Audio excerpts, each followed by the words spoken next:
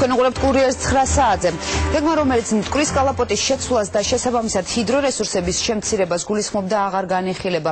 რამდენიმე თვიანი მოლაპარაკების შემდეგ ბეშიქაის ჰესის ნაცვლად საქართველოს მთავრობის ალტერნატიული პროექტი განხორციელდება. ამ დროისთვის თურქული და ქართული მხარეები უკვე მტკვრის კასკადის მშენებლობის ტექნიკურ დეტალებს ათანხმებენ ორი ქვეყნის ერთობლივი პროექტით ერთის ნაცვლად სამი ჰიდროელექტროსადგური აშენდება. თურქეთის ტერიტორიაზე მდინარე მტკვარზე ჰესი აღარა შედება. შეთანხმება ამ საკითხზე ქართულ და თურქულ მხარეებს შორის რამდენიმე თვიანი მოლაპარაკებების შემდეგ შედგა. ჰიდროელექტროსადგური ბეშიქ-ჰაის ოლქში მდინარე მტკვარზე უნდა აშენებულიყო. ამ შემთხვევაში წყლის ნაწილი კალაპოტიდან მდინარე ჭოროხში გადავიდოდა და საქართველოსი შემოსვლის შემდეგ მტკვრის ჰიდრორესურსები მნიშვნელოვნად შემცირდებოდა. საქართველოს მთავრობის ჩარევის შემდეგ ეს საფრთხე უკვე მოხსნილია. მინდა გითხრათ, რომ მდინარე მტკვარს არანაირი პრობლემა არ შეექმნება. თურქულ და ქართულ მხარეებს შორის მოლაპარაკებები შეთანხმებით დასრულდა. ჩვენ მეგობარი ქვეყნები ვართ და უთანხმოება არასოდეს გვექნება. შედეგი, რომელიც მოლაპარაკებებისას მიღწეული იქნა ორივე მხარისთვის სასარგებლოა. ბეშიქ ჰაის ჰესის ნაცვლად თურქულ მხარეს საქართველოს მთავრობამ ალტერნატიული პროექტი შესთავაზა. შეთანხმების თანახმად მტკვარზე კასკადი უკვე ამ ტერიტორიაზე სამცხე-ჯავახეთში თურქეთ-საქართველოს საზღვარზე განთავსდება. სამ ჰიდროელექტროსადგური 220 მეგავატის სიმძლავრის იქნება. ამ შემთხვევაში აღარ მოხდება მდინარის კალაპოტიდან წყლის გადაგდება და შესაბამისად აღარ შემცირდება მტკვრის ჰიდრორესურსებიც. ჰიდროელექტროსადგურებიდან გამომუშავებული ელექტროენერგია ზამთარში ქართულ ბაზარზე, საფხულში კი თურქეთში გაიყიდება.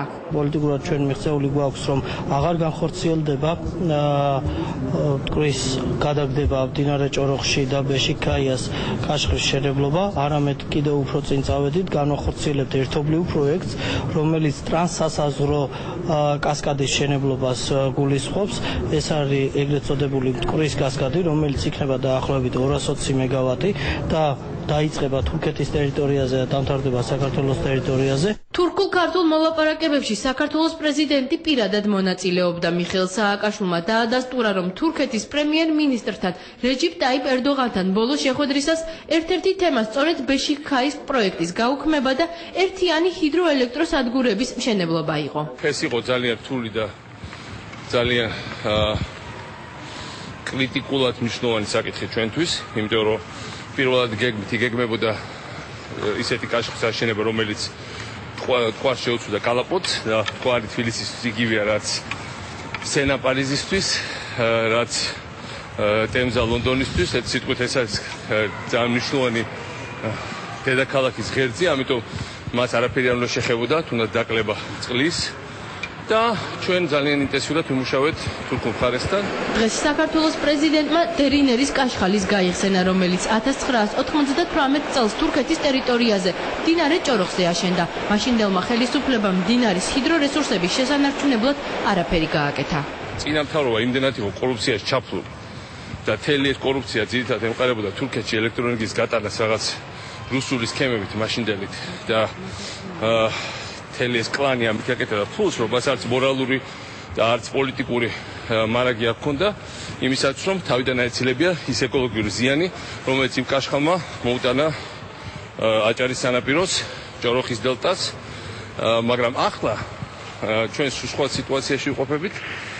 საქართველოს აქვს ძლიერი დიპლომატიური პოზიციები, ჩვენ ძალიან გამჭირვალი ურთიერთსარგებლოს დამოკიდებული დამყარებული ურთიერთობა თურქეთის რესპუბლიკასთან და ეს მე ვიტყოდი იყო ორხრივი დიპლომატიური გამარჯვება. რომ არა მხოლოდ ტურის კალაპოტის გადაგდება აღარ მოხდება, არამედ საქართველოს ტერიტორიაზე აშენდება ერთობლივი ახალი კაშხალი. იმუშავებს თურქეთის და საქართველოს ეკონომიკაში ჩვენ დაახლოებაზე, მათ შორის საქართველოს სამუშაო ადგილების შექმნაზე, საქართველოს საექსპორტო პოტენციალის გაზდაზე, ერთ სიტყვით, აი რას ნიშნავს, როცა შენ ყავს თავრობა, რომელსაც ვერან ვერაფერს ვერ წამოაძახებს, რომელიც ყურით არავის არ რაღაც დაჭერილი იმის გამო რაღაც სხვადასხვა სქემებშია ჩართული და რომელსაც აქვს ძალიან მეგობრული და კარგი ურთიერთობა ჩვენს დიდ მეზობელთან. ამიტომ რა თქმა უნდა ეს ასევე მადლიეროვანი მე პრემიერ-მინისტრი ერდოგანის იმისაც რომ ძალიან რთული მოლაპარაკებები პრინციპში პოლიტიკურად ძალიან სწორად დასრულდა.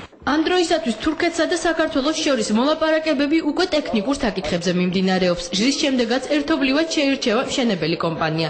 გადაწყდება კონკრეტული თარიღიც თუ როდის დაიწყება ორი ქვეყნის ერთობლივი პროექტის განხორციელება.